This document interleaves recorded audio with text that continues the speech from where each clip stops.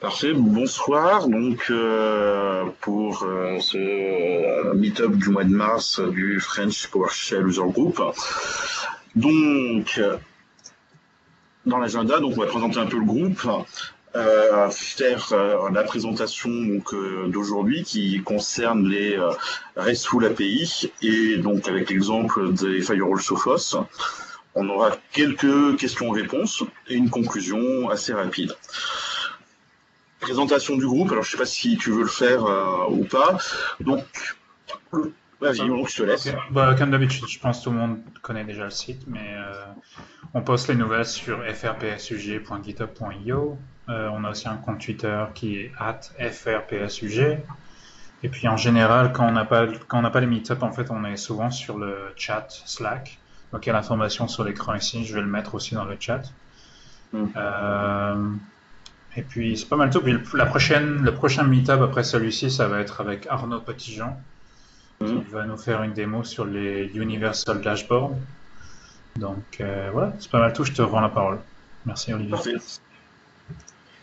Donc voilà, comme je vous préfère euh, disais, donc PowerShell et les RESTful API, avec l'exemple des Sophos SG Firewall moi, je me présente, je suis euh, Olivier Miosek, je suis toujours CTO de Mediactive Network, consultant donc système et data center. Euh, l'agenda donc pour ce soir, donc on va parler un tout petit peu des motivations qui m'ont poussé à utiliser PowerShell pour pouvoir gérer des euh, des réseau Qu'est-ce qu'une RESTful API pour ceux qui ne le savent pas et qu'est-ce que JSON parce que ça va être les deux éléments les plus centraux en fait de, cette présentation. On va parler beaucoup de invoke REST méthode. Et pour pouvoir en fait illustrer en fait cette, euh, cette possibilité de pouvoir gérer des API à travers PowerShell, on va prendre l'exemple de Sophos et de son API et avec quelques démos, on va essayer de voir comment on peut automatiser euh, du réseau avec PowerShell. D'abord, donc, les motivations euh, qui m'ont poussé à aller plus loin et à éviter, à essayer d'utiliser PowerShell euh, pour gérer mes appelances réseau. D'une part, il y a le but qui est d'éviter de devoir gérer en fait des tickets entre l'équipe système et network. Tout simplement, quand on gère des tickets, on ne sait jamais en fait quelle est la ressource qui va prendre ce ticket, si elle est disponible, si elle peut la gérer tout de suite. Euh, moi, ça m'est arrivé en fait de faire un ticket et qu'on me réponde ouais, je te ferai ça demain si j'ai le temps. Oui, mais moi j'en ai besoin maintenant. Qu'est-ce que je fais? D'autre part, c'est aussi une source d'erreur parce que quand on va, euh, a beaucoup d'objets à créer sur un firewall ou sur un, switch ou autre chose, ben, on va s'échanger des données oralement ou euh, par mail ou par ticket. Et souvent, les copier-coller, ben, parfois il y a des informations qui se perdent ou parfois même une typo et euh, ben, ce qui, est une source d'erreur assez, assez quand même importante. L'autre motivation, c'était de pouvoir rendre responsable les équipes de déploiement de la bonne marche de leur VM et de fluidifier le déploiement. L'idée derrière tout ça, c'est que la valeur que l'on crée en faisant un déploiement, elle n'est visible par le client que lorsque le service est fonctionnel. Et le service est fonctionnel quand la VM est déployée, quand elle est configurée, mais quand aussi elle est visible à travers le réseau, c'est-à-dire quand elle est configurée sur un firewall pour que les gens puissent y accéder.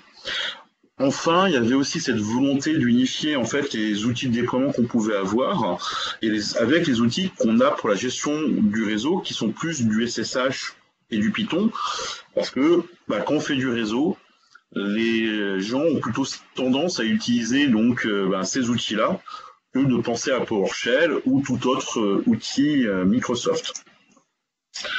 Il y a un contexte là-dessus, c'est que chez nous, en fait, euh, on est full Hyper-V pratiquement. Les VM sont déployés par des scripts PowerShell, elles obtiennent une IP à partir d'un fichier. et ce fichier va être servir en fait pour pouvoir à la fois déployer donc la VM, mais aussi les services et les applications qui seront dessus. Le firewall Sophos, lui, va être utilisé pour pouvoir faire euh, les séparations entre les différents réseaux, pour sécuriser la plateforme du client. Et on va avoir beaucoup de règles, de plus en plus aujourd'hui on, a de règles pour gérer la sécurité de, euh, ces, euh.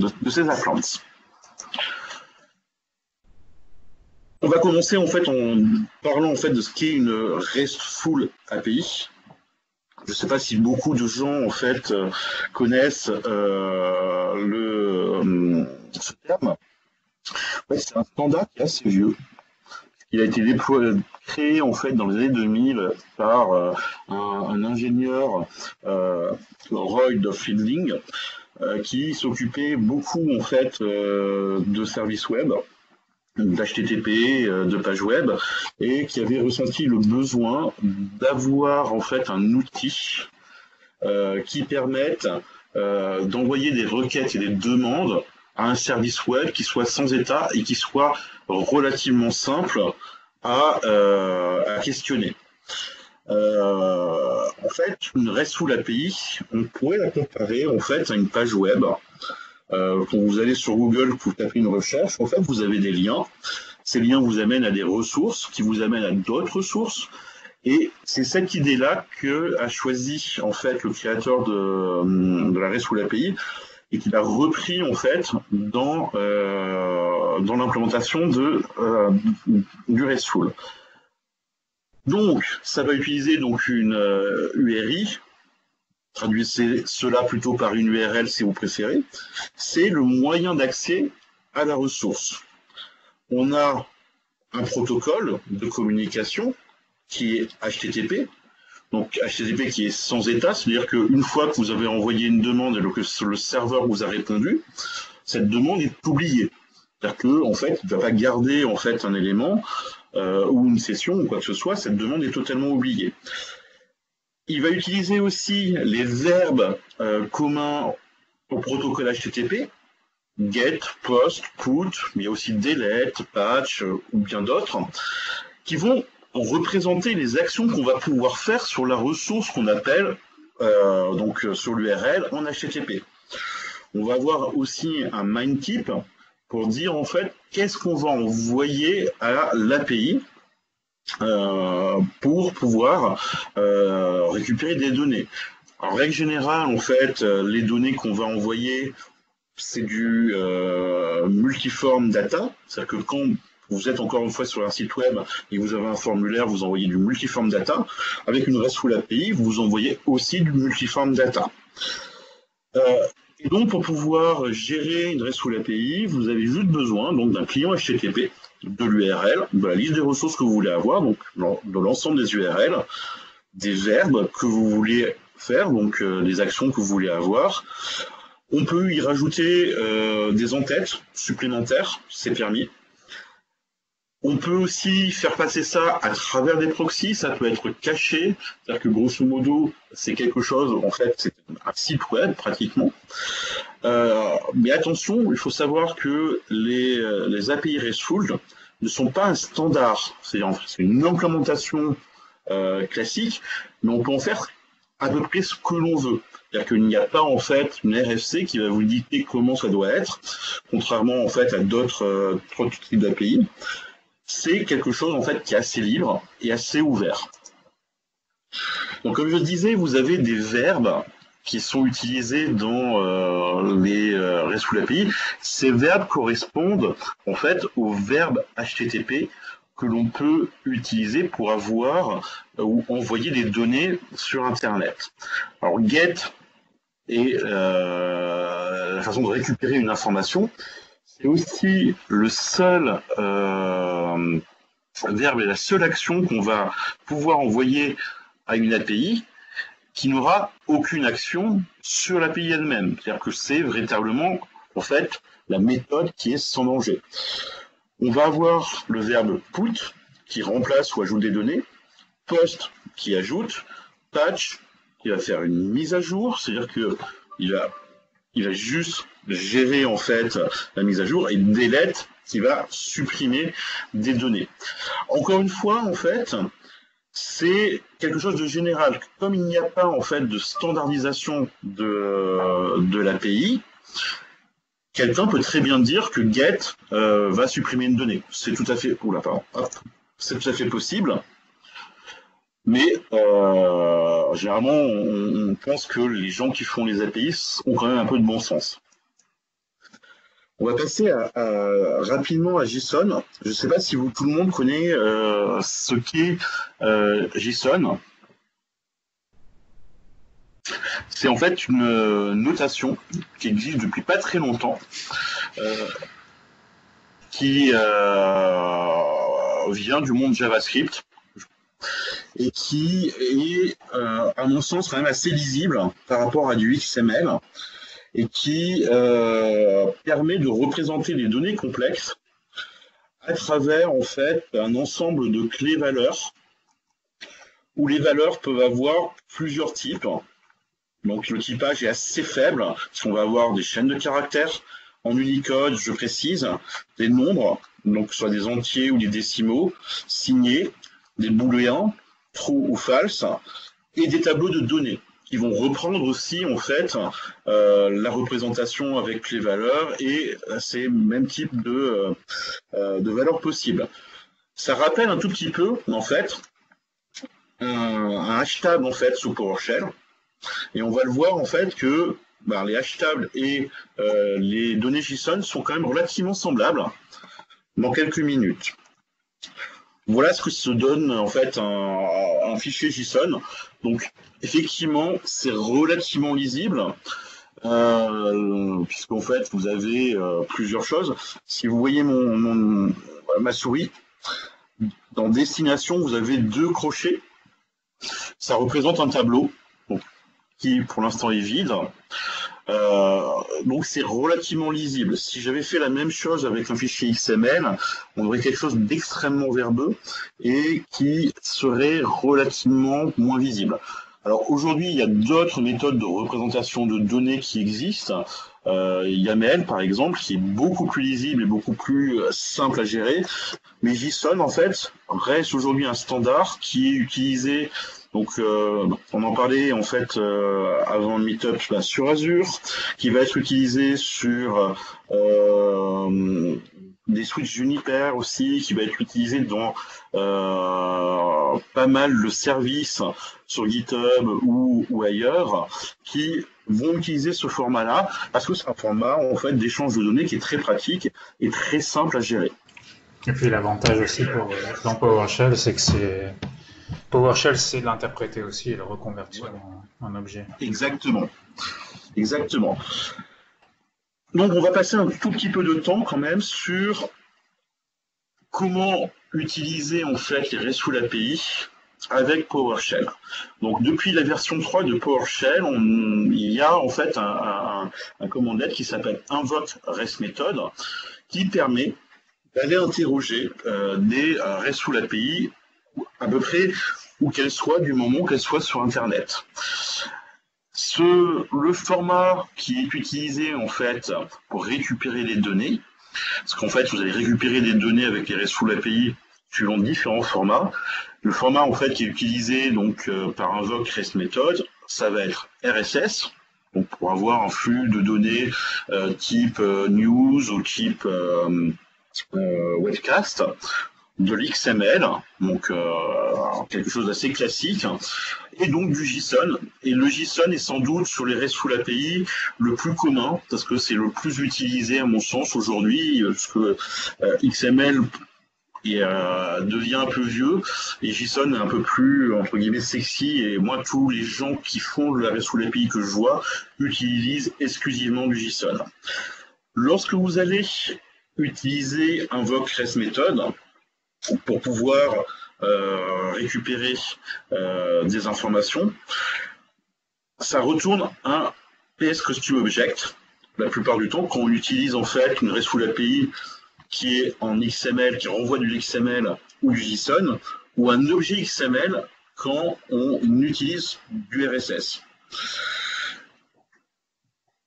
Invoke REST method en fait prend euh, un attribut obligatoire qui est l'URI, euh, là où vous allez récupérer euh, l'information, la méthode, c'est get, post, put, patch, trace, delete, and merge option.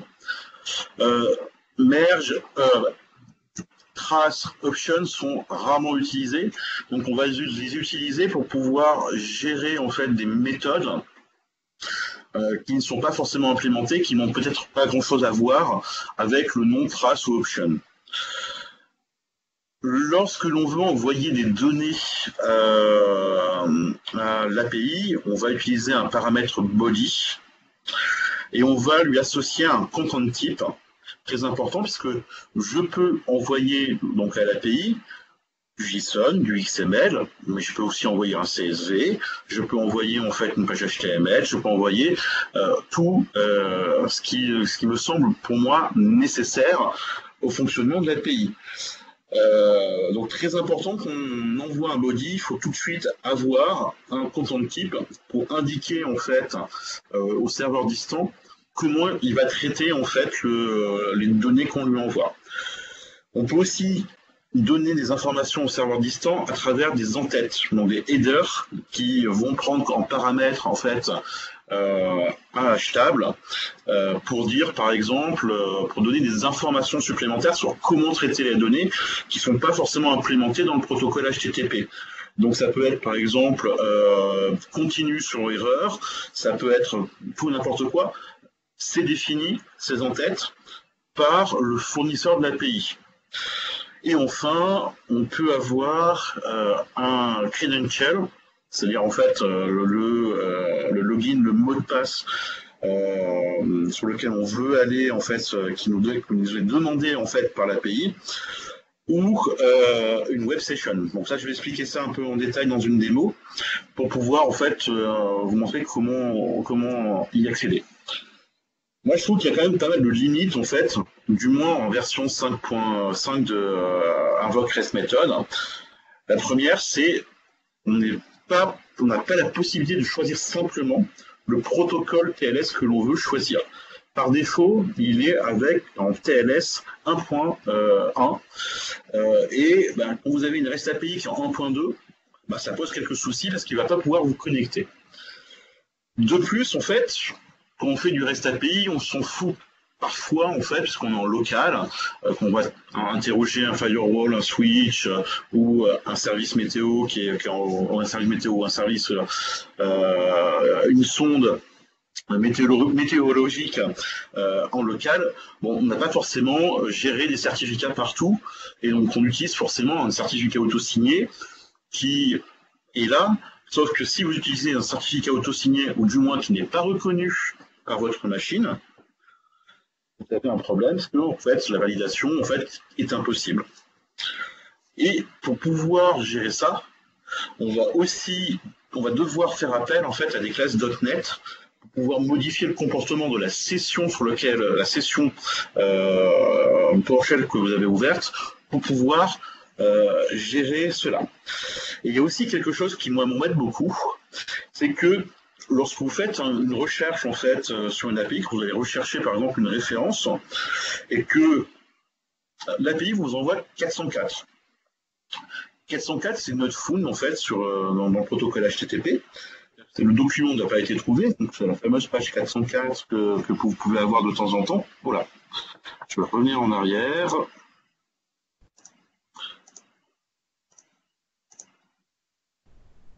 Voilà pardon, c'est la fameuse page 404 que vous, que vous avez trouvée, mais 404, en fait, c'est une information.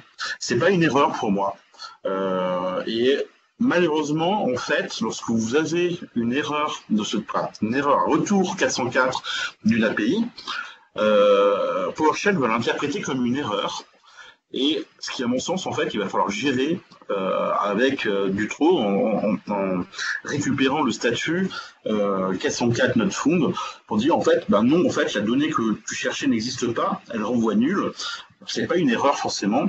Euh, ne continue et euh, c'est pas un problème. On va passer à quelques démos rapidement. Voilà je vais vous montrer en fait les problèmes qu'on peut avoir en fait sur les connexions.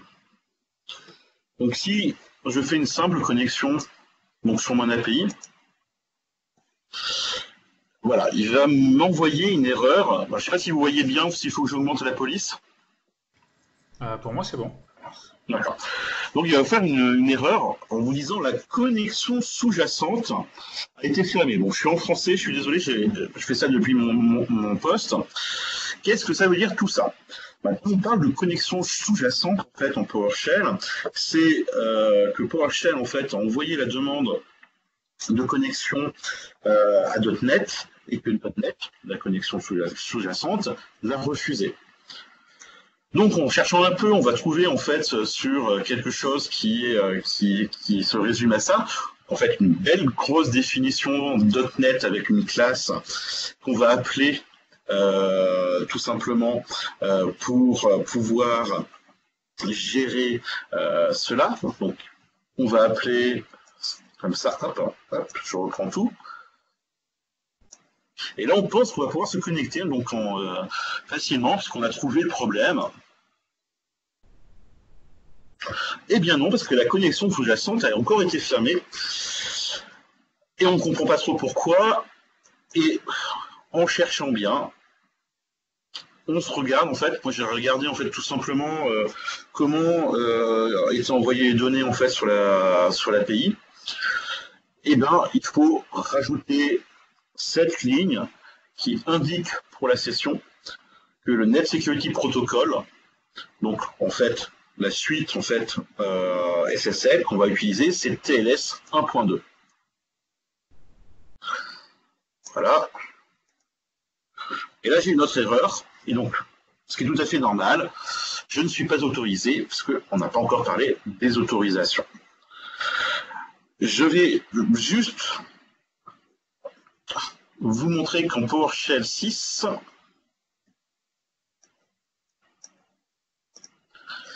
c'est tout à fait différent puisqu'on a donc euh, ah ouais, que je vous montre. En PowerShell pardon 6, on a deux choses en fait, deux nouveaux paramètres ont été rajoutés. Donc euh, ça prouve un peu que Microsoft écoute un tout petit peu ses utilisateurs. Ces paramètres permettent en fait d'utiliser soit le système défaut qui, je vous le rappelle, en fait, sur la, la plupart des machines, en tout cas sur Windows 10, et TLS 1.1, mais on va pouvoir utiliser du TLS 1.0 qui est représenté en fait en TLS euh, euh, tout court, ou du 1.2, et on va pouvoir aussi euh, gérer en fait la, la gestion du certificat pour dire en fait qu'on accepte les certificats auto-signés, ou du moins les certificats qui ne peuvent pas être validés en ligne. Donc on va voir ça. J'ai ouvert une session PowerShell 6 sur ma machine. Donc je vais le faire d'abord en fait sans les attributs une erreur de sécurité s'est produite. Donc en fait, on a un message un tout petit peu différent entre PowerShell 6 et PowerShell 5, mais c'est la même erreur. Si j'utilise en fait euh, l'attribut SSL protocol TLS 1.2, 1.2 pardon, euh, et skip server certificate check,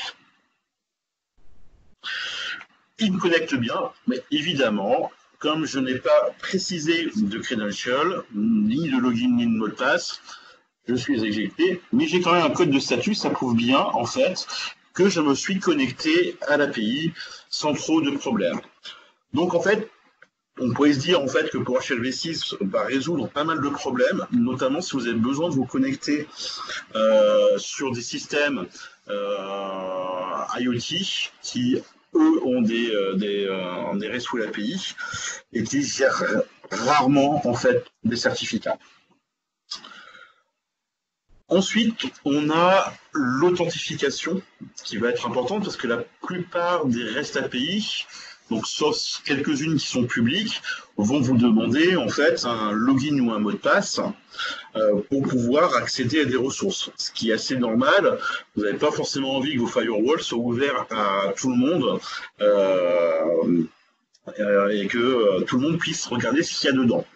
Donc il y a deux méthodes en fait qui sont utilisées en fait pour pouvoir euh, se connecter donc à un service qui demande euh, un credential. C'est de l'authentification basique HTTP, je précise. Donc il est important si vous l'utilisez d'avoir euh, d'être en HTTPS. Donc vous avez deux méthodes avec un objet PS credential ou une variable web session. Une variable web session, web session c'est quoi? C'est que lorsque vous allez vous connecter une première fois avec un credential sur une API, vous avez la possibilité d'indiquer à PowerShell de mettre la valeur d'authentification dans une variable pour pouvoir la réutiliser par la suite. Car en règle générale, lorsque vous utilisez une API, vous allez l'utiliser plusieurs fois et pas une seule fois. Donc ça peut être très intéressant dans le sens où vous n'avez pas besoin de vous promener, de, promener un objet PS Credential ou de devoir en fait gérer euh, dans vos codes un login et un mot de passe qui pourrait être un peu, euh, un peu, un peu pernicieux. De plus, il y a quelque chose qui a été très intéressant. Sophos va... Pardon Allô bon. J'ai mis, euh, mis, la personne sur mute. Je pense qu'elle était rentrée avec. Euh, D'accord, pas bon. De plus, en fait, euh, donc Sophos, qui est l'objet un tout petit peu de, de notre meetup ce soir, euh, utilise lui un token que je peux vous montrer rapidement.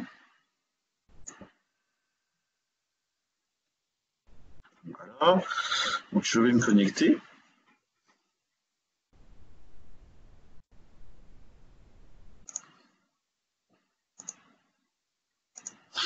un token qui correspond en fait à un code utilisateur, c'est-à-dire c'est un compte, mais ce token en fait n'est utilisable qu'avec l'API.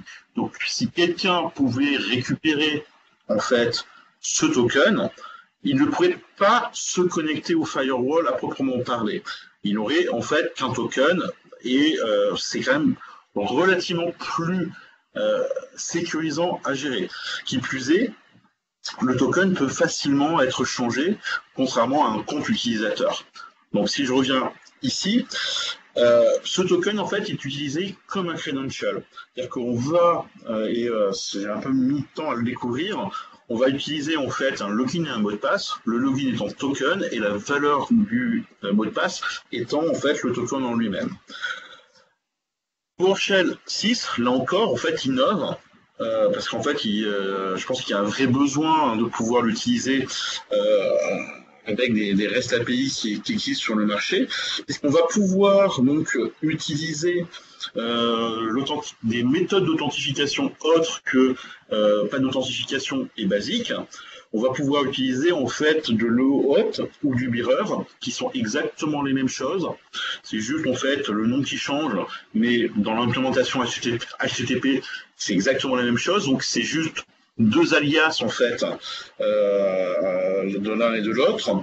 Et on va pouvoir utiliser ce type de token, comme je, je vous ai indiqué, pour pouvoir se connecter à des API.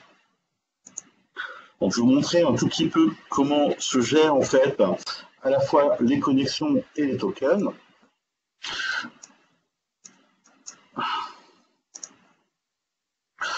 Voilà.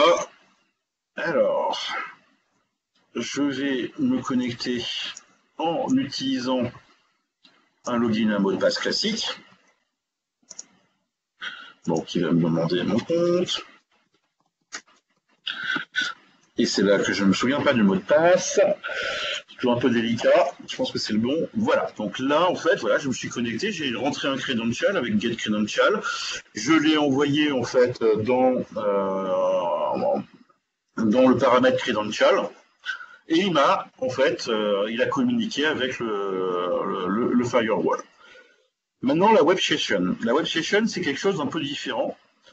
Vous allez rajouter le paramètre, en fait, session variable, et vous allez donner un nom à cette, variable. Attention, il ne faut pas mettre, en fait, de dollars devant, sans quoi ça ne fonctionnerait pas.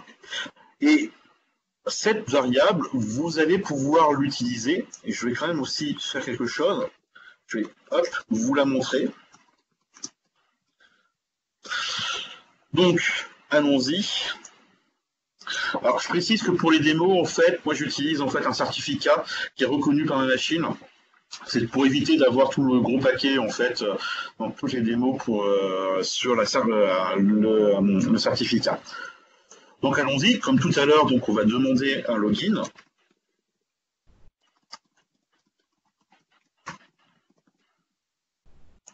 Et je vais faire deux requêtes.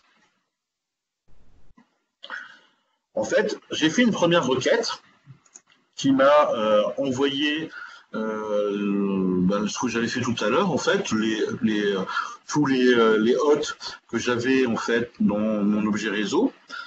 Et je lui ai demandé aussi dans mon objet réseau de m'envoyer toutes les interfaces adresses. Donc,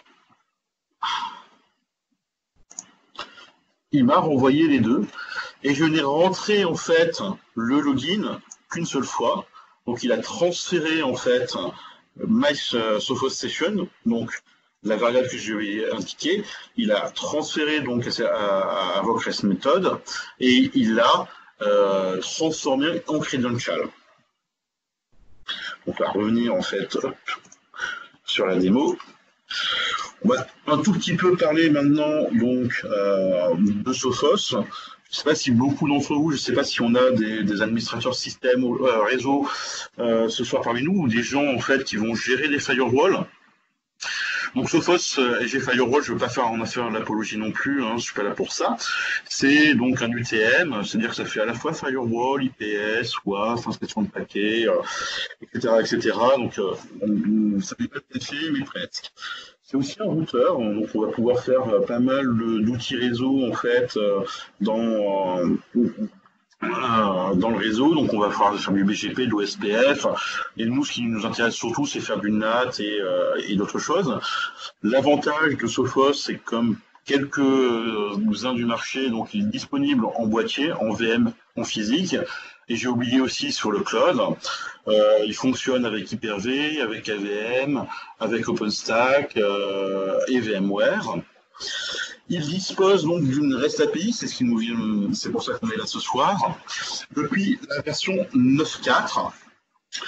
Euh, cette API en fait utilise un daemon dans Sophos qui s'appelle confd, qui est le même qui, euh, que l'interface web du firewall utilise ou que le central management utilise.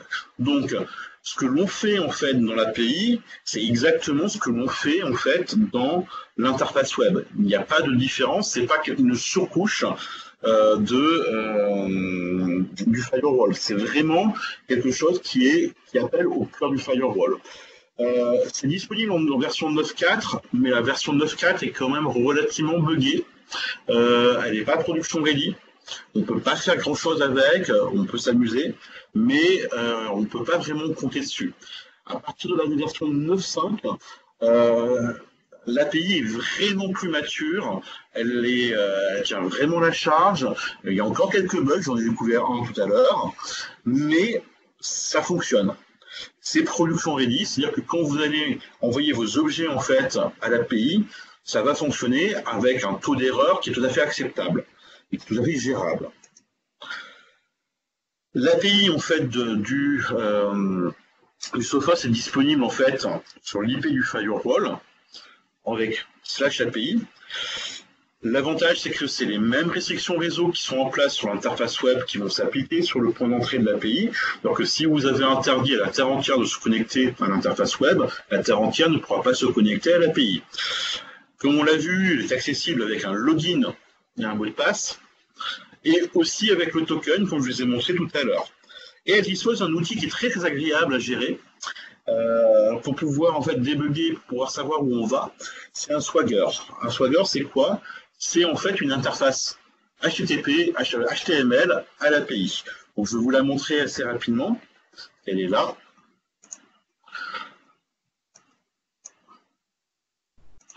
Donc on va pouvoir, je vais vous montrer quelque chose en fait qui existe.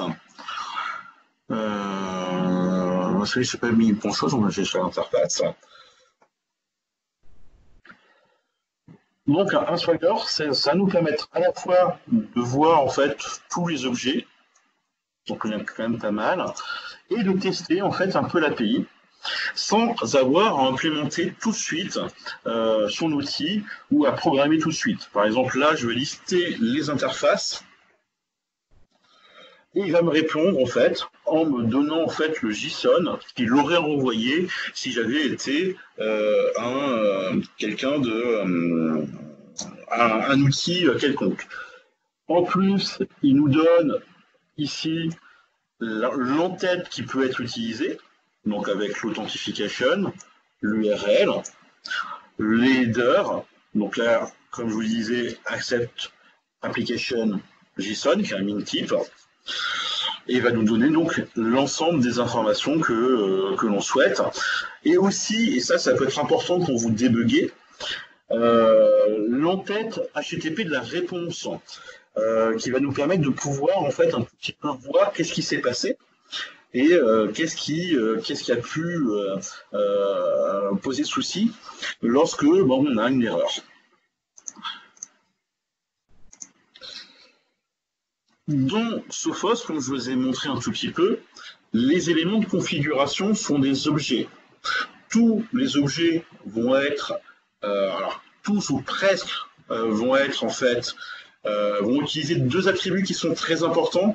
C'est underscore ref, c'est-à-dire c'est la référence de l'objet qu'on va utiliser, et underscore type, c'est le type de l'objet. Si je reviens en fait tout à l'heure en face ce que je vous ai montré, donc ici donc on voit bien qu'on a un ref, donc en fait on a en fait une on va dire une clé unique et un type qui va nous indiquer ben, où se trouve l'objet. Pour construire l'objet, en fait, on va besoin, on va parfois avoir besoin d'avoir des rêves d'autres objets. Euh, tout simplement, si il faut voir un peu ça comme si on avait une base de données relationnelle, euh, où, ben, par exemple, vous avez en fait une clé euh, unique, en fait, une primary key, et des clés étrangères. lorsque vous, voulez relier deux, objets entre eux, par exemple, lorsque vous voulez ajouter un groupe de services à savoir donc ajouter des services, vous allez avoir besoin en fait des références de ce service. Euh, un objet donc euh, il va pouvoir contenir du texte ou des entiers ou mais aussi des tableaux. Encore une fois par exemple je reprends l'exemple du groupe de services. Vous allez envoyer à Sophos en fait non pas en fait une liste de services mais un tableau de services dans le sens JSON du terme. Euh, pour pouvoir en fait le, gérer. Les API sont groupées en fait en classes. Alors qu'est-ce qu'une classe? Je vais vous montrer rapidement. Les classes, ce sont ces euh, éléments-là. Comme vous voyez, il y en a quand même pas mal. En fait, on va regrouper les différents éléments que l'on peut avoir euh, dans qui sont qui se regroupent ensemble. Bon là j'ai pris BGP parce que bon c'était le premier qui me venait à l'esprit, mais on va prendre en fait tout ce qui se relie à BGP, on va le mettre dans une même classe. C'est une classe en fait d'affichage. C'est pas une classe en fait dans le, sens en fait de, de programmation. On va dire c'est une famille exactement. C'est plus pour pouvoir s'y retrouver dans l'API, parce qu'il y a quand même pas mal d'objets en fait à gérer, que pour pouvoir euh, le gérer de façon programmatique. Enfin, donc, comme je vous le disais, les objets, en fait, sont accessibles depuis une et une seule URL qui va dire API, classe, objet. Là encore, si je regarde ici, ben voilà, ça va être l'API, hop, je vous le montre en fait tout simplement. Donc on a API, objet, classe et euh, objet système. Hop, alors, il faut que je reprenne mes démos. On va revenir sur quelques démos. Euh, ah oui, je ne vous avais pas montré le token, mais bon, c'est pas très grave. On va voir en fait rapidement comment on peut euh, créer un objet. Donc, ça va me permettre de vous présenter un tout petit peu le token, parce que j'ai oublié de vous le présenter tout à l'heure. Donc, euh, allons-y.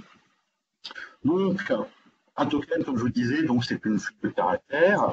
Comment gérer?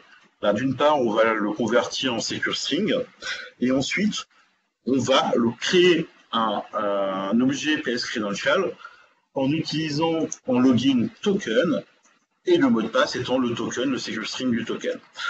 Voilà. L'idée ici, c'est qu'on va essayer d'ajouter un, euh, objet host qu'on va appeler serveur 2, qui a pour IP donc euh, l'IP en question, donc c'est une IP qui n'existe pas en fait euh, dans nos services. Et j'ai pris en fait le schéma JSON, alors je vais vous le montrer à travers le Swagger, c'est peut-être un peu plus intéressant.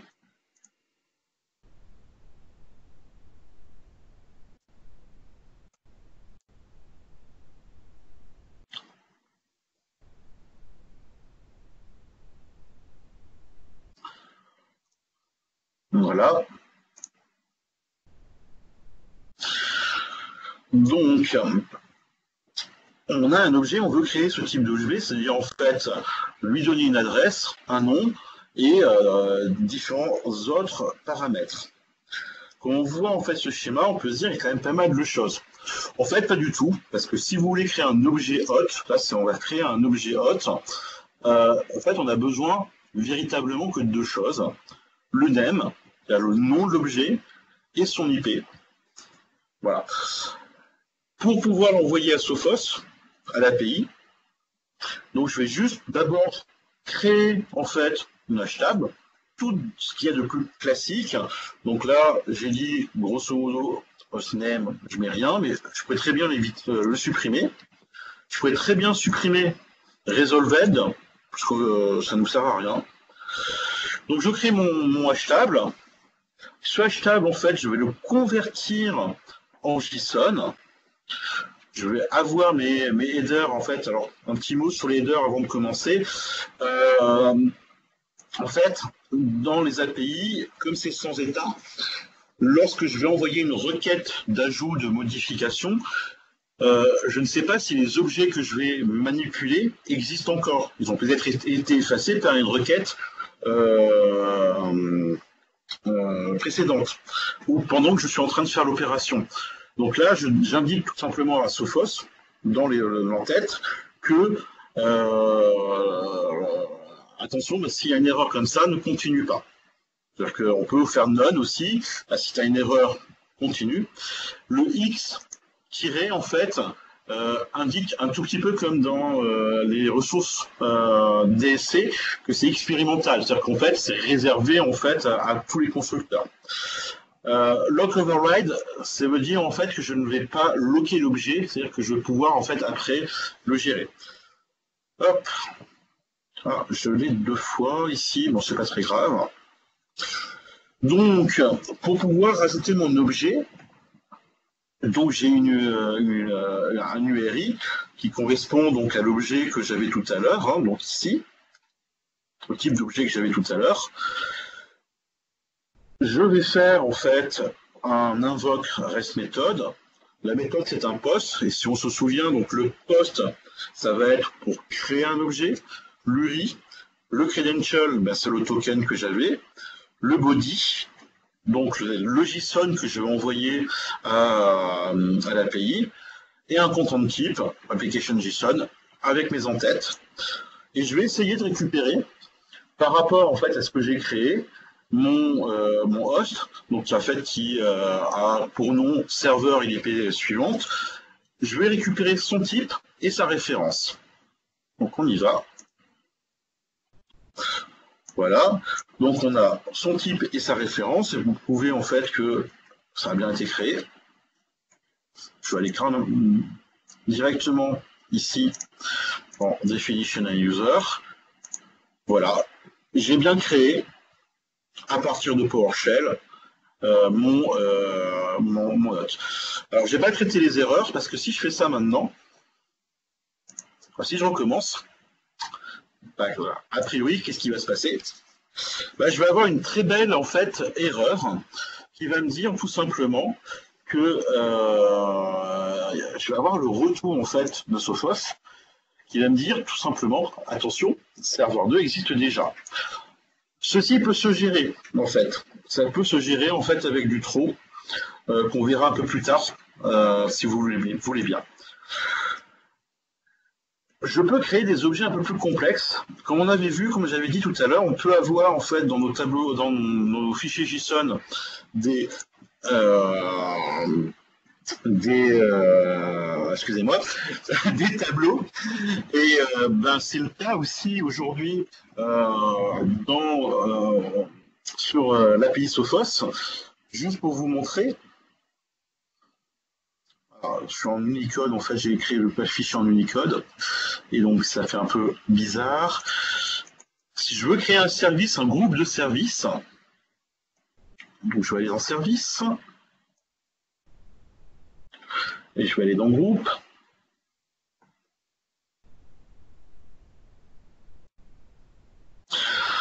Alors là, en fait, on va avoir quelque chose d'un peu particulier, et là, il faut chercher, hein, je suis désolé. Donc j'ai mes groupes de services, alors j'espère que, voilà, qui existent déjà, et moi, je vais en créer un. Donc, par défaut, si je veux en créer un, en fait, il me dit que j'ai juste à créer comment et string. C'est un peu compliqué quand même, hein, si on n'a que ça. Donc en fait, j'ai dû chercher pour savoir en fait comment en fait gérer euh, le groupe de service.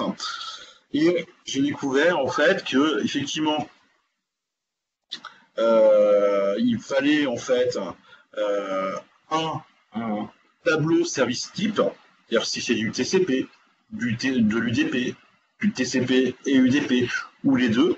Alors pourquoi un tableau? Parce qu'on a TCP et UDP qui existent, je ne sais pas.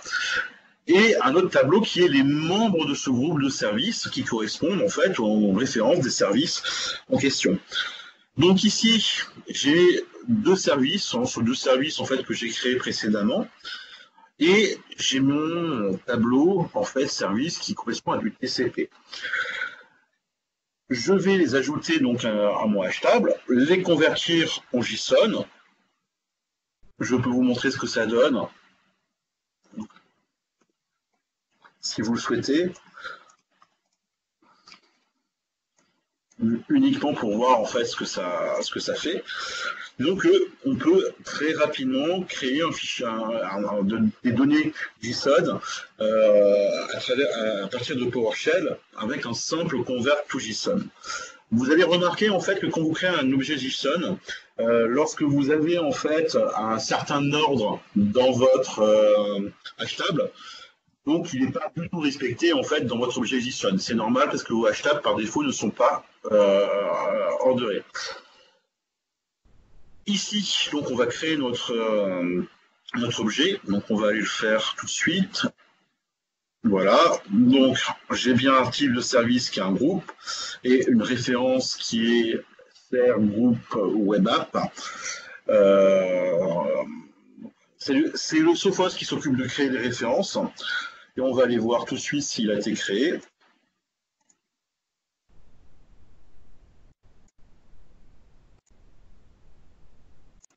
Voilà.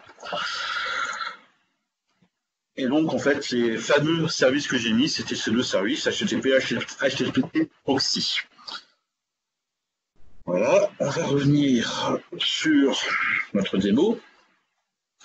Et je vais vous présenter rapidement, en fait, alors je ne veux pas vous le présenter en, long, en large, en travers, parce qu'on m'en a interdit d'avoir, en fait, euh, de présenter trop de choses. J'ai pas l'autorisation euh, de ma direction, donc j'en suis désolé, je pensais pouvoir aller plus loin.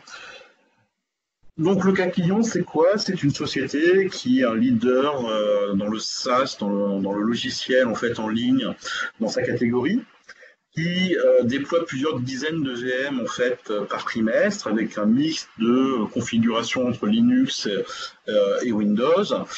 Les configurations et le déploiement sont faits pratiquement entièrement en PowerShell. Et ils ont ceci de particulier qui vont créer des nodes, des nodes ces nodes en fait correspondant en fait à un SQL, un serveur applicatif et un front-end, euh, et qui ces nodes doivent être séparés. C'est-à-dire que le SQL en fait d'un nœud, d'un des nodes, ne va pas pouvoir parler au SQL au front-end d'un autre node. Idem pour le front-end, il ne va pas pouvoir parler en fait au serveur applicatif d'un autre nœud. C'est le cas en fait euh, de ce client. Donc on a en fait ce type de configuration, ce type de demande. Alors là aussi, c'est un fichier explosé, je m'en excuse, ça correspond à aucune IP, vous ne pourrez rien en faire. Euh, l'idée derrière tout ça, c'est comme on va créer en fait euh, plusieurs dizaines de VM à la fois, on va pas s'amuser en fait à créer les VM une à une et ajouter les objets et faire les règles euh, de façon manuel. On a commencé à le faire, euh, on s'était dit, mais non, là, en fait, on se casse la gueule parce que quand on a deux ou trois VM à faire, c'est un souci. Quand il y en a 70, je vous laisse imaginer, en fait, le temps que ça prend pour pouvoir le gérer. Donc, là, hop, on va repartir sur nos démos. Euh, il m'en manque une. Il m'en manque une. Euh, le démo, je crois. Bon, c'est pas grave. On va, gérer quand même. Donc, là, ce que je vous propose, c'est de voir un peu quelle est la première approche qu'on peut avoir pour pouvoir gérer cela. Donc, on va retrouver en fait, bien sûr, toute notre partie authentification et euh, notre URL ce qu'on va devoir faire dans un premier temps, c'est que, euh, comme vous l'avez vu, si je créer quelque chose dans PowerShell, dans, dans, l'API, je vais avoir besoin de récupérer des références. Soit que je vais les créer en fait quand je crée un objet, soit que si ces références ont déjà été créées, je vais devoir les rechercher. Donc là, c'est le cas, par exemple, que j'ai des services qui existent et euh, je vais devoir les rechercher. Et ce qui est un tout petit peu bête, c'est que chez Sophos, ils ont décidé d'avoir en fait une URL pour les services en TCP, une URL pour les services en UDP, une URL pour les services en TCP et UDP, et une URL pour les groupes. Ce qui veut dire en fait que je vais devoir aller chercher en fait mes références dans ces quatre euh, euh, requêtes d'API. Donc, ce qui explique en fait qu'ici, je vais faire quand même quelques requêtes et que je vais devoir récupérer les PS Costume Object qui, heureusement, eux, peuvent s'ajouter pour me permettre de pouvoir lister ceci. Je n'ai pas la possibilité dans l'API de faire une recherche par nom. Donc, je vais devoir en fait parser l'ensemble en fait de mon résultat pour pouvoir euh, le gérer. Donc c'est pour ça en fait que je vais faire un switch et je vais demander en fait euh, d'avoir le service qui s'appelle MSSQL, le service HTTP et le service Web App. Le service Web App qu'on vient juste de créer si, euh, si vous l'avez vu. Je vais bien sûr vous l'afficher parce que là on est quand même en fait en démonstration. Et ensuite, je vais créer mes objets comme je vous le disais, donc j'ai euh, une VM, euh, j'ai trois VM en fait à créer, trois, trois, objets en fait réseau à créer. Donc là aussi, donc je vais le, gérer assez facilement. Donc j'ai mes trois achetables que je convertis en JSON. J'ai toujours mon header. Je vais faire euh, mes, mes requêtes théoriquement, je devrais pouvoir en fait envoyer un tableau en fait à l'API pour qu'il me le fasse avec une seule requête. Mais là, il y a un bug, donc je suis obligé de le faire en fait sur trois requêtes. Une fois en fait que j'ai récupéré mes, euh, mes mes requêtes, je vais récupérer l'objet référence, je vais vous l'écrire, et finalement, je vais pouvoir créer une règle. Ça, c'est quelque chose qu'on n'a pas encore vu pour l'instant. Donc une règle, c'est quoi? C'est qu'on va dire euh, quelle est la destination? C'est un tableau. Quel est le service? C'est un tableau. Quelles sont les sources? C'est aussi un tableau. Donc, pour créer en fait ma première règle, je vais voir en fait ici l'action, accept. J'aurais pu avoir denied ou reject. Je mets un common parce que comme ça, donc c'est plus sympa. La destination, eh ben, c'est un, c'est un, un tableau qui n'a qu'un élément, mais c'est normal parce que dans une règle de firewall, je pourrais avoir plusieurs, euh, plusieurs hosts, plusieurs groupes de hosts. log parce que je veux en fait que cette règle soit loguée. J'ajoute en fait les services, donc encore une fois un tableau, la source, et là en fait je vais faire un tableau avec quelque chose que je ne suis pas allé chercher, parce que sur tous les firewalls Sophos, quels qu'ils soient dans le monde, quelle que soit la version de l'API, on a toujours ref network any qui existe, qui correspond en fait au mot-clé any qui veut dire 00000 slash 0 en IPv4 et 0.0 slash 0 je crois en IPv6 qui correspond donc à la terre entière. Euh, c'est une, règle assez, assez classique. Donc ici aussi, donc je vais faire la même chose pour SQL et euh, on va le gérer. Hop, en espérant que ça se passe bien. Voilà. Donc là, on aurait pu penser en fait, donc je reviens ici. Donc là, j'ai bien récupéré. Oh là. J'ai bien récupéré euh, les noms de mes services et euh, leurs références. Lorsque j'ai créé mes objets, je les ai bien récupérés. On peut aller les voir d'ailleurs, hein, donc euh, sans problème. Hop, hop, post. Donc j'ai bien mes nouveaux objets qui sont venus s'ajouter.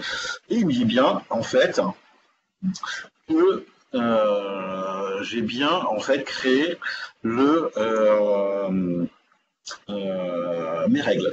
Si vous remarquez, en fait, je n'ai jamais donné de nom à mes règles, juste un commentaire et l'API. Hop, où j'étais. L'API, en fait, a lui-même, de son propre chef, géré en fait un nom c'est assez curieux. Mais ce nom n'est jamais affiché en fait dans l'interface. Vous ne le voyez jamais. Donc, c'est pas extrêmement euh, important. Euh, ce qui est important pour l'API, euh, pour de notre côté, c'est de bien avoir cette référence et de bien voir que ça fonctionne. Est-ce que c'est satisfaisant? Là, si vous remarquez, en fait, j'ai juste joué en fait sur des euh, sur des euh, comment expliquer euh, sur des, des. Mais quand on a 70 VM à faire, c'est un peu léger.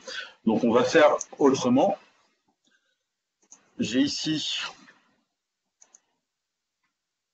ah oui super. Il ne veut pas en fait du tout. ah oui. J'ai fait un fichier JSON en fait, on utilise beaucoup le JSON en fait chez nous pour euh, différentes raisons, notamment parce que c'est lisible et qu'on peut faire plus de choses qu'un simple fichier CSV, qui va me permettre de créer en fait ce que je vous avais dit, donc un node avec euh, des IP, leur nom, le rôle qu'ils vont avoir, etc., etc. Et donc, j'ai ma démo qui va prendre ce fichier, qui va créer les objets, alors, euh, c'est pas le bon nom de fichier. Ah oui.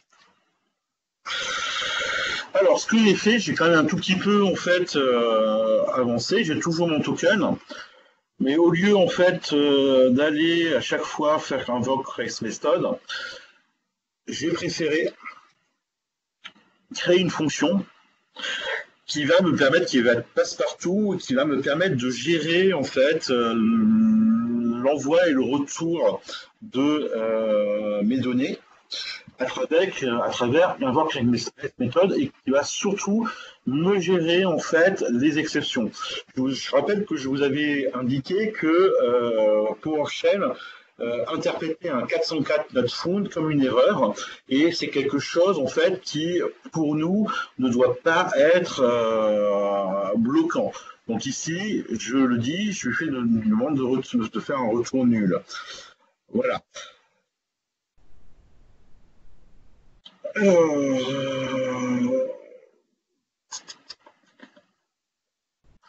Bon, ça, en fait, je n'avais pas testé tout à l'heure, donc du coup, ça n'a rien à faire ici. Pardon.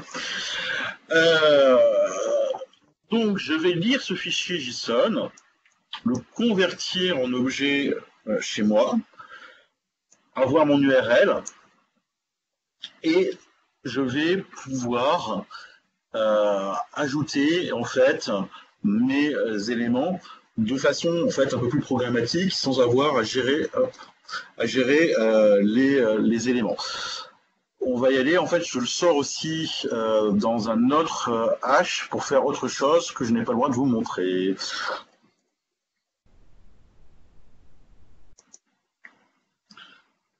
Ah, mince. Ok, alors j'avais déjà en fait un host qui existait. Alors c'est les erreurs du démo, comme je l'ai fait en fait euh, tout à l'heure, je l'ai testé tout à l'heure, donc il faut que je retrouve mon host qui a la même IP. Voilà. Alors, dans mon fichier JSON, en fait, j'ai une erreur. Quelque part. Hop, on va, on va tout effacer. De toute façon,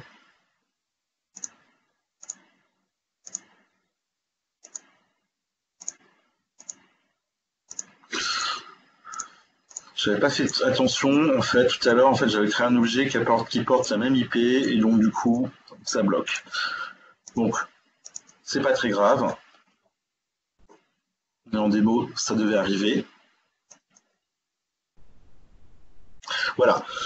Donc, on a créé... Ah, mince J'ai pas, pas mis mes références, en fait. J'ai créé un autre JSON, en fait, qui me permet de faire autre chose dessus. Euh, mais comme je vais modifier, j'ai pas mis les références en fait. Donc du coup, on voit pas très très bien. Euh, donc vous pouvez le remarquer quand même, ça va relativement assez vite. Donc on pourrait croire en fait qu'en faisant des allers-retours euh, vers une interface web, on va prendre en fait du retard et, du délai, mais pas du tout. Comme on est en fait sur du fichier JSON qui est relativement peu verbeux, on va relativement vite. Alors ça dépend bien sûr de la charge du firewall et euh, de pardon et oula. Hop on va revenir dessus. Ça, dépend de la charge du firewall bien sûr et euh, de votre accès au firewall.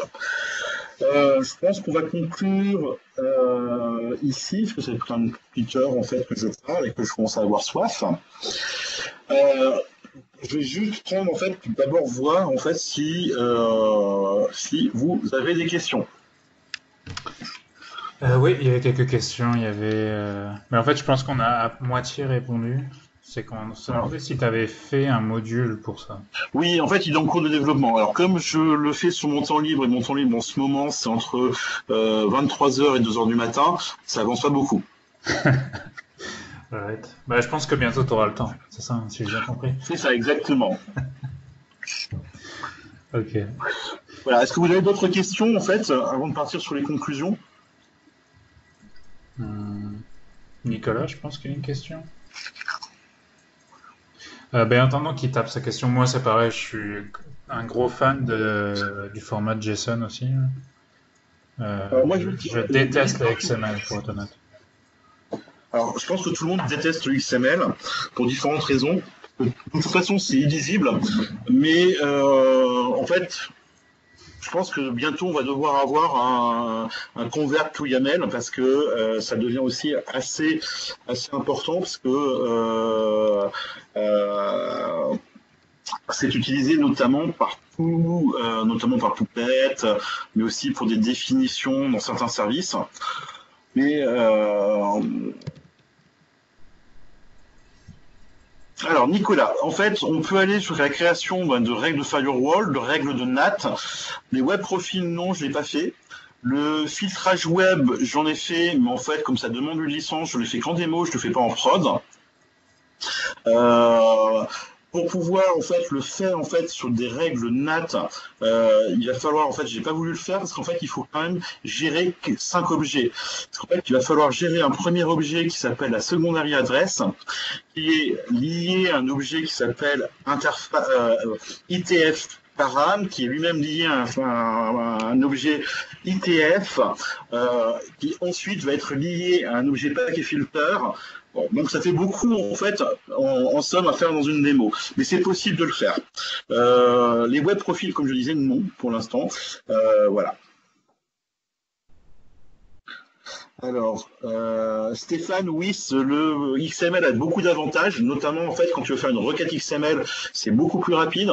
Mais quand tu veux en fait euh, avoir de l'information que tu veux vite manipuler dans PowerShell, je pense que JSON est quand même beaucoup plus aisé parce que tu peux facilement plus le, plus le lire. Voilà.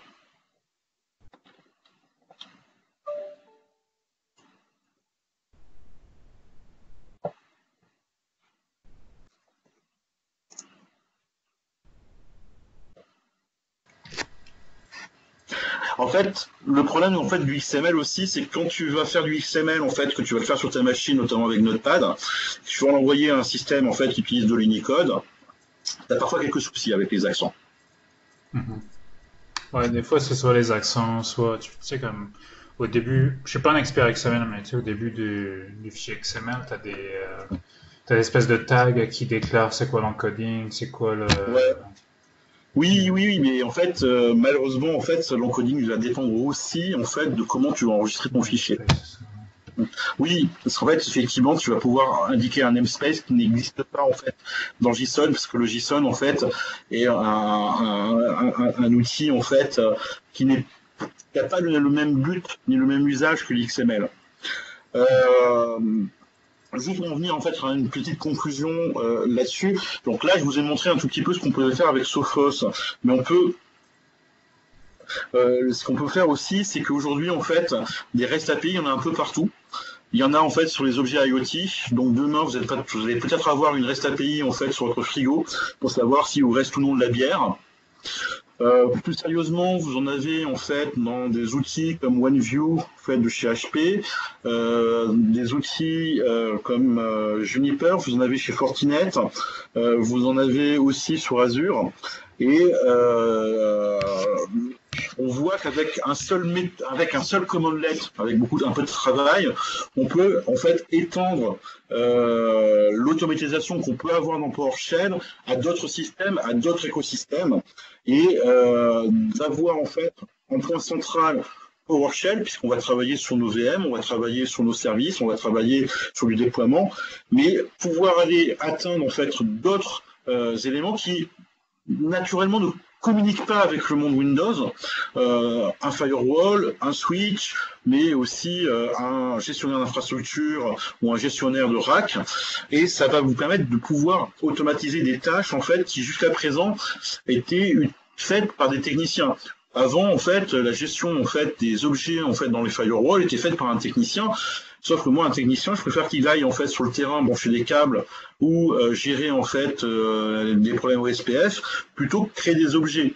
Ça nous permet de libérer du temps et de faire aussi des déploiements plus rapides. Oui, je suis totalement d'accord avec ça. C'est devenu comme une interface un peu universelle euh, pour interagir avec Exactement. Par contre, on ne peut pas tout faire. Il y a beaucoup de limitations en fait avec avec les REST API, à savoir en fait que comme vous avez, comme vous êtes limité en nombre de verbes et les verbes correspondant à des fonctions, euh, on ne veut pas aller beaucoup plus loin. Euh, l'avantage d'une REST API, c'est que vous savez où vous allez, parce que quand on a une API, que ce soit en DECOM ou euh, en Corba, bah en fait, on a un peu l'impression qu'on va en fait à la mine pour piocher des informations pour savoir ce qu'on va en faire. Là, avec une REST API, c'est quand même assez normé, c'est quand même on sait où on va, et si le fournisseur de l'API euh, a eu l'intelligence euh, de mettre un swagger, c'est-à-dire l'outil que je vous ai montré, en fait, qui permet de visualiser l'API, on a quand même une bonne notion de ce qu'on peut faire. Même s'il y a des bugs, en fait, comme je, sur, sur les API, c'est quand même assez intéressant. il y avait une question de Nicolas concernant le licensing de Sophos. Tu sais comment ça fonctionne Oui, je sais comment ça fonctionne. Donc, euh, quelle est la question? Ah, et question licensing Sophos, si tu connais, euh, à une époque, il existait une licence de base gratuite. Oui. toujours dispo? Elle est toujours dispo, elle est un peu plus compliquée à avoir, c'est tout. En fait, euh, dans une VM ou sur un- une machine physique, pas sur un UTM boîtier en fait qu'on achète chez Sophos, euh, bon, je suis pas censé le dire. En fait, il faut se créer un compte sur myutm.sophos.com et on va pouvoir lui donner la licence de base à partir de ce compte.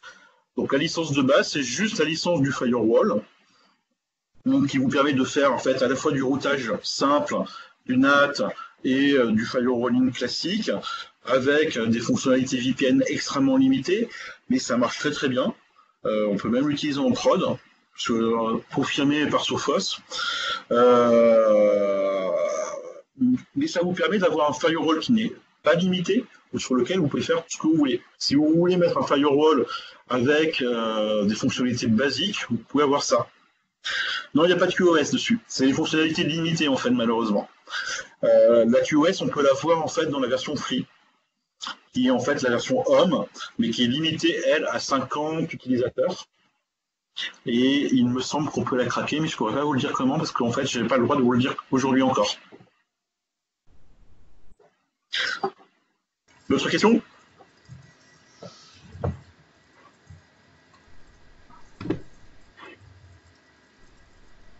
À 50 IP, c'est quand même bien. Bah, 50 IP, en fait, si vous faites un, quelque chose à la maison avec une borne Wi-Fi, voilà, ça fait quand même pas mal. Ah, non, Bon, ça dépend maintenant si, si, si, si, euh, si vous êtes une famille de 70 personnes, c'est un peu plus compliqué.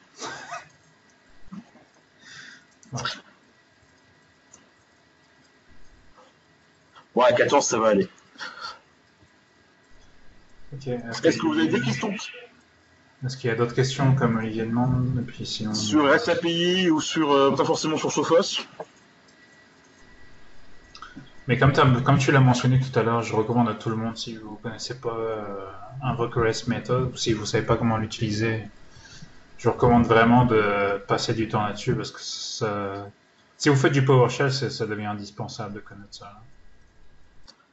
Ah, c'est vraiment en fait voilà, c'est vraiment en fait euh, l'outil. Alors moi j'ai commencé à l'utiliser pour pouvoir checker mon infra, c'est-à-dire qu'aujourd'hui moi j'ai un outil qui s'appelle OneView de chez HPE, comme j'ai des serveurs HPE aussi, et euh, faudrait que je retrouve le lien, mais il y a quelqu'un qui a développé chez HP donc à travers donc euh, cet outil tout un tas de commandelettes qui lui permet de récupérer en fait toutes les infos euh, de euh, à la fois ses serveurs, ses racks, et donc il est capable à travers une euh, commande PowerShell de savoir dans quel rack, à quelle position, où il y a un serveur en fait qui a un disque qui flanche. Donc une seule commandelette, voilà, exactement c'est celui-là. Donc c'est pas mal. Moi, je l'utilise aussi, je commence à l'utiliser donc, pour ça, pour pouvoir faire des rapports en fait sur euh, sur euh, euh, sur mon infrastructure. Et c'est quand même assez assez bluffant. Comme, comme vous l'avez pu le voir, en fait, les REST API, c'est assez rapide. Parce que comme en fait, on fait passer que du texte, ça va extrêmement vite.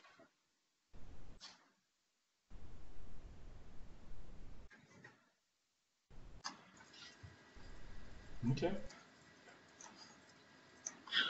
Hop. Bon, bah, je- s'il n'y a pas d'autres questions pour Olivier, je laisse quelques secondes, mais ça va pas bien. Euh, ben, merci beaucoup, Olivier, d'avoir présenté ça pour nous. Moi, je trouve ça vraiment intéressant. Surtout que c'est, Merci. comme on a mentionné, ça devient vraiment indispensable de, de- de savoir manipuler les, les appels euh, vers les REST API. Et puis, euh, ça, c'est pas mal tout, je pense. Puis, euh, encore une fois, on est, on est pas mal sur le, sur le chat Slack. Puis, je sais qu'Olivier est souvent là-bas. Donc, si vous avez des questions pour lui, vous pouvez toujours le contacter par. Ouais, alors pas tout de suite parce que là je vais prendre une bière. Hein. Non, non, une chose à la fois. Voilà. Mais euh, ah oui, d'ailleurs, pendant que tu parlais tout à l'heure, tu sais, des euh, des systèmes IoT, là, la semaine dernière, ils ont montré un truc assez intéressant. Euh, ils utilisaient un. Je sais plus comment ça s'appelle, tu sais, les, les mini PC là, qui... que tu peux acheter pour euh, 50 dollars. Oui, les, les Androidino Ouais. Et bref, ils, nous- ils nous ont. Oui, voilà, Raspberry, ça je pensais. Raspberry, puis en fait, ils montraient, en fait, ils avaient connecté un Raspberry à une lampe, à une pompe et un détecteur d'humidité. Mm. Et ils avaient fait un script PowerShell qui en fait détectait quand la terre était trop humide, il lançait la pompe, puis ça lui mettait en fait Mm. de, de l'eau à la plante, puis le reste du temps ça, la- ça allumait la, la lumière en fait. Hier soir, j'étais avec, euh, j'étais, j'étais, j'étais à un cocktail entre guillemets, euh, enfin barbecue américain, on peut pas appeler ça, on peut pas appeler ça un cocktail. J'étais avec les gens de Sigfox. Je sais pas si vous connaissez Sigfox. Non. C'est en fait le leader mondial, c'est une société française qui est basée à Toulouse. Le leader mondial en fait de toute la, la, la réseautique autour de l'IoT. Ok. Donc eux, c'est vraiment des grands spécialistes de l'IoT. Et, euh, et en fait, ils font des choses en fait qui sont, enfin, c'est à la limite de, de la science-fiction. Parce qu'effectivement, donc ils parlent en fait de, des plantes qu'on va arroser s'il n'y a pas de soleil, mais là ils le font à l'échelle en fait d'un champ. Euh, ils vont mettre de l'IoT sur les vaches. Donc c'est assez marrant comment, comment il explique parce que euh, dans les champs il n'y a pas d'internet. Donc ils ont des récepteurs radio en fait, c'est ça, ça leur métier. Et en fait ils sont capables de savoir quand est-ce que la vache est capable d'avoir euh, va euh, soit ovuler pour pouvoir faire un veau, soit euh, quel est le meilleur moment pour être air. Ah, c'est cool ça. Mm. Et c'est quoi le nom de la compagnie, t'as dit encore? Zigfox. Tu peux l'écrire dans le chat Zik. Ah, bien sûr. Je serais curieux de regarder ça. Zik Fox. Ok. Cool. Non, puis en plus, ah oui, il y a un autre truc qu'ils ont montré aussi la semaine dernière, c'est qu'en plus de ce système-là, de leur script, ce qu'ils ont fait, la prochaine étape, c'est qu'ils avaient plugué, qu'ils avaient connecté ça avec euh, euh, Power BI. Ah oui. Et ils avaient directement des rapports en live de quand est-ce que la Terre a été, était sèche, quand est-ce que la, la lumière était allumée, quand est-ce qu'ils ont allumé la pompe. Ça, c'est quand même... ça donne des idées. Là. J'imagine que tu peux faire la même chose sûrement avec les vaches. Oui. non, mais après, les idées, en fait, sont, euh, sont illimitées. hein. donc, du coup, de toute façon, on va rentrer dans un monde où, euh, c'est pour ça, que, comme je disais, euh, de plus en plus, on va avoir de- besoin de puissance informatique. Et euh, ce qu'on parlait, en fait, avec, euh, avec François Xavier, euh, avant, euh, euh, que le cloud, aujourd'hui, public, et un peu privé, mais surtout public, va prendre une prédominance majeure en fait dans nos, à la fois dans nos vies professionnelles et dans nos vies tout court. Mhm. Ouais. Non, c'est, moi je trouve ça vraiment, euh, vraiment passionnant, intéressant tous les, tous les sujets auxquels on peut s'intéresser euh, en termes d'automatisation, tous les technologies annexes. Donc, Ouais, mais en fait, euh, moi ça me donne un peu le vertige parce qu'il y a tellement de choses à apprendre du coup. Ouais, c'est sûr, tu peux pas tout suivre, faut te focaliser sur un truc qui t'intéresse. Ouais, exactement. Ok. Parfait. Bon, bah, on va te laisser aller boire ta bière. Oui. Puis, Ou deux. euh, ou deux, peut-être. Et puis, euh, merci à tous d'être venus. Merci encore, Olivier, de- d'avoir présenté pour nous. Et puis, on se retrouve dans, je pense, dans deux semaines pour le meeting Ah, avec Arnaud Potigeon sur les sur le dashboard. Ok, merci à tous. Euh, bonne soirée. Merci. Merci à vous tous. Au revoir. Merci, au revoir.